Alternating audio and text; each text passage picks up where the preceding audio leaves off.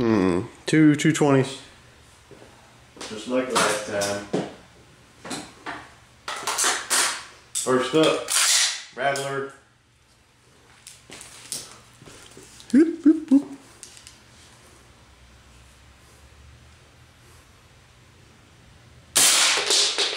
Ooh.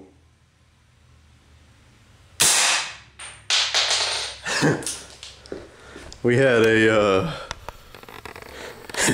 some extracurricular activity going on. I can't shoot these no more. Nope.